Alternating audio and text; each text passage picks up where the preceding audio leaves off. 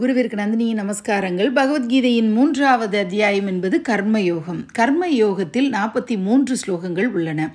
நம்ம இன்னைக்கு ஆறாவது ஸ்லோகம் பார்க்கணும். கர்ம யோகத்தில் என்ன பகவான் நமக்கு கற்றுத்தர இருக்கிறார் அப்படிங்கிற ஒரு முன்னோட்டமாக பார்க்கணுன்னா எல்லாருமே ஞான மார்க்கத்தில் போய் சந்நியாசியாக இருந்து இந்த உலக பந்தங்களை எல்லாம் கலைஞ்சிட்டு பரமாத்மாவை முழுமையாக சரணடைய முடியுமா அப்படின்னு ஒரு கேள்வி.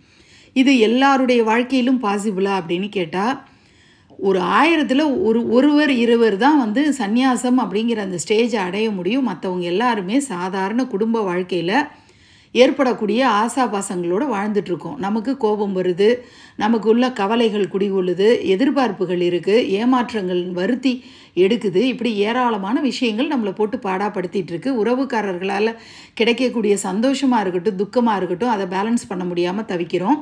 நண்பர்களால் கிடைக்கக்கூடியதும் அதே மாதிரி தான் இருக்குது இந்த உலகத்தில் நமக்கென்று லட்சியம் குறிக்கோள்கள் இருக்குது அதுக்கு நம்ம செஞ்சுட்டு வரக்கூடிய தொழில்கள்லாம் நம்முடைய ஈடுபாடு அதை செலுத்திட்டு வரும்போது அது பின்னடைவு ஏற்படும் போது தடுமாறி விடுகிறோம்.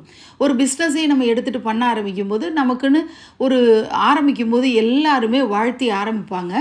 அப்போது ஏராளமான பேர் என்ன சொல்லியிருப்பாங்கன்னா இதில் நீங்கள் எக்ஸலண்ட்டாக வரலாம் நல்ல சாய்ஸ் அப்படின்னு சொல்லியிருப்பாங்க. ஒரு காலகட்டத்தில் அதில் தொய்வு ஏற்படும் போது மனம் ஏ ஒரு வருத்தத்திற்கு ஆளாகும். அந்த வருத்தத்திலிருந்து மீள தெரியாமல் தவிச்சிட்ருப்போம் இப்போ இந்த எதிர்பார்ப்புன்னு இருந்தால் ஏமாற்றம் வருது. எதிர்பாராமல் ஒரு வேலையை நம்ம முழு கவனத்தோடு செய்ய முடியுமா? ஒரு லட்சியம் ஒரு இலக்கு ஒரு குறிக்கோள்னு ஃபிக்ஸ் பண்ணாமல் நம்ம ஒரு காரியத்தில் முழு ஈடுபாடு செலுத்த முடியுமா? எனக்கு வந்து ஒரு இந்த இடத்த நான் அச்சீவ் பண்ணணும். இப்போ நான் டென்த்தில் நல்ல மார்க் எடுக்கணுன்றது ஒரு மாணவனுடைய ஒரு ஆசையாக இருக்கலாம் லட்சியமாக இருக்கலாம். இல்லை அவங்க அப்பா அம்மாவுக்கு ஒரு லட்சியம் இருக்கலாம். பையன் வந்து டுவெல்த்தில் இந்த மார்க் எடுத்தால் அவன் வந்து காலேஜுக்கு இந்த காலேஜில் அவன் படிக்கணும் அப்படின்னு அவங்களுடைய ஆசைகளாக இருக்கலாம்.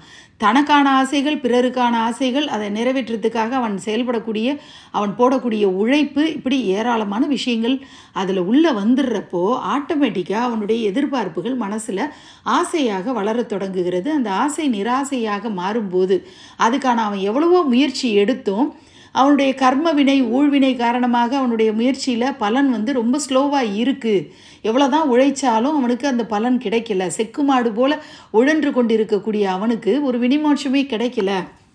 இவன் எதிர்பார்த்த அந்த கோலை அச்சீவ் பண்ண முடியலங்கும்போது அவனுடைய மனம் தடுமாறுகிறது தொய்வடைகிறது. அதனால் விரக்தி உண்டாகிறது கவலை ஸ்ட்ரெஸ்ஸுன்னு எல்லாம் வந்துடுது இப்போ இந்த மாதிரி ஒரு சாதாரண மனிதர்கள் பரம்பொருள் மேலே அவங்களுக்கு நல்ல பக்தி இருக்கும் விசுவாசம் இருக்கும் நம்பிக்கை வந்து அளவற்ற ஆழமான நம்பிக்கை கொண்டிருப்பார்கள். ஆனால் கூட அவங்களால உள்ள டீப்பாக நுழைஞ்சு சரணாகதி முழுமையாக அடைய முடியல. அப்பப்போ அவங்க வந்து பரம்பொருளை நாடுறாங்க அதுலேருந்து வெளியில் வந்து தன்னுடைய வேலைகளை பார்க்குறாங்க அதில் வரக்கூடிய எதிர்பார்ப்புகள் அவங்கள தடுமாற செய்யுது. மீண்டும் அவங்க ஜீரோவில் போய் நிற்கிறாங்க திரும்ப பரம்பொருளில் நாடணுன்ற எண்ணம் வருது. இப்படி மாறி மாறி இருந்துட்டுருக்கு இப்போ இந்த செயல்களை பற்றி கூறும்போது கர்மயோகிகளாக அதாவது குடும்ப வாழ்க்கையில் ஈடு ஈடுபட்டு கொண்டிருக்கக்கூடியவர்கள் நம்மளை போல சாதாரண மக்கள் குடும்பம் தான் எனக்கு பிரதானம். நம்ம நான் வந்து ஒரு மனைவியாக என்ன கடமையை செய்யணும்? ஒரு மகளாக நான் எப்படி இருக்கணும் என்னுடைய தாய் தந்தைக்கு?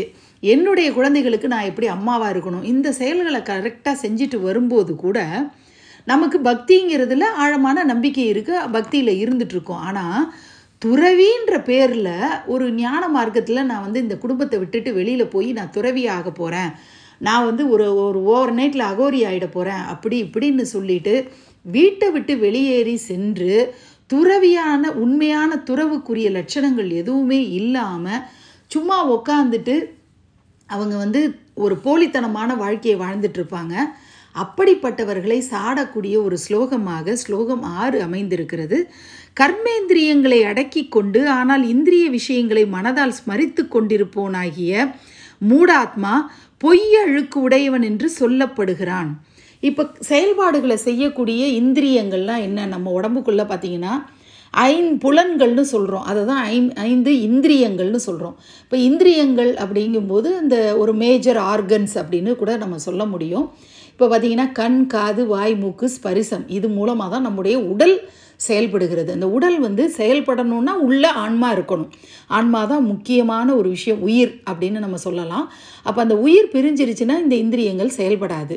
இப்போ இந்த உயிர் உள்ளே இருக்கும்போது இந்த இந்திரியங்கள் கரெக்டாக சுவாசிக்கிறதுக்கு மட்டும்தான் அந்த மூக்கு பயன்படுதான்னு கேட்டால் அது வாசனையை நுகர்கிறது. அது வந்து ஒரு பூவோட வாசனையும் நுகருது. யதார்த்தமான வாசனைகளும் அதுக்கு தேவையாக இருக்குது அதை தன் போக்கில் உணருது. அதே நேரத்தில் தேவையற்ற வாசனைகளையும் அது நுகர்ந்து பார்க்கக்கூடிய அதாவது போதைப் பொருளுக்கு ஆளாகிறவங்க ஸ்மோக்கிங்கு இந்த மாதிரி விஷயங்களில் ஈடுபடுறவங்கெல்லாம் அந்த மாதிரி நுகர்ச்சியையும் அவங்க தப்பாக அந்த இந்திரியங்களை பயன்படுத்துகிறாங்க அதே மாதிரி எல்லா அவயங்களும் இந்த கண் காது வாய் மூக்கு ஸ்பரிசம் இந்த அஞ்சு அவயங்களும் நல்ல விஷயத்துக்காக அது உருவாக்கப்பட்டது. ஆனால் அதனுடைய பயன்பாடுகளையும் தாண்டி சில விஷயங்களில் அது தன்னை மீறி ஈடுபடக்கூடிய ஒரு நிலை ஏற்படுகிறது. வலுக்கட்டாயமாக பிறருடைய ஒரு உந்துதலில் கூட ஒரு ஆசையினால் மோகத்தினால கூட அந்த உந்துதல் ஏற்பட்டு விடுகிறது.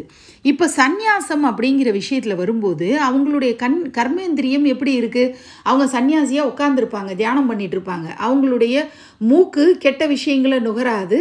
தவறான பார்வை இருக்காது செயல்கள் தவறாக இருக்காது. அப்போ எந்த ஒரு அந்த ஐம்புலன்களால் அவங்க வெளிப்படுத்தக்கூடிய செயல்கள் எல்லாம் பார்க்குறதுக்கு எப்படி இருக்குது துறவி ஆகா அருமையாக உட்காந்து தியானம் பண்ணிகிட்ருக்காரு இந்த மனுஷன் அப்படிங்கிற மாதிரி இருக்குது ஆனால் அவங்களுடைய மனம் எப்படி அலைந்து கொண்டு இருக்கிறதுன்னு கேட்டால் அவங்க மனசில் தவறான எண்ணங்கள் சிந்தனைகள் ஓடிக்கொண்டிருக்கிறது. இந்திரிய விஷயங்கள் மனசில் அவங்க ரிலேட் பண்ணி அந்த ஐம்புலன்களில் அவங்களுக்கு மனசில் என்ன தோணுது? இந்த சாப்பாடு சாப்பிட்டா இந்த நேரத்தில் நல்லா இருக்குமே? பசி வைத்த கில்லுது நம்ம வந்து சைவமாக மாறிட்டோம். ஆனால் நம்ம இப்போ நான்வெஜ் சாப்பிட்டு பார்த்தா நல்லா இருக்குமே? ஐ, இது இப்படி இருந்தால் நல்லா இருக்குமே? அப்படி இருந்தால் நல்லா இருக்குமேன்னு பொன்னாசை பெண்ணாசை மண்ணாசைன்னு எல்லா ஆசைகளும் அந்த துறவி போன்று வேடம் போட்டுக்கொண்டு உட்கார்ந்துருக்கக்கூடியவனுக்கு வருகிறது. அவன் பேரளவில் தான் அப்படி இருக்கானே தவிர கர்மேந்திரியங்கள் ஒடுக்கப்பட்ட மாதிரி அவன் ஆக்ஷன் காட்டுறான். ஆனால் உள்ளுக்குள்ளே அவனுடைய எண்ணங்கள் உண்மையான ஒடுக்கத்துக்கு வரல உண்மையான துறவு நிலையை அவன் அடையலை. அப்படிப்பட்ட மூட ஆத்மா அப்படின்னு சொல்லக்கூடிய அந்த ஆத்மாவை அவன் தவறாக துஷ்பிரயோகம் பண்ணிட்டு இருக்கான் இல்லையா?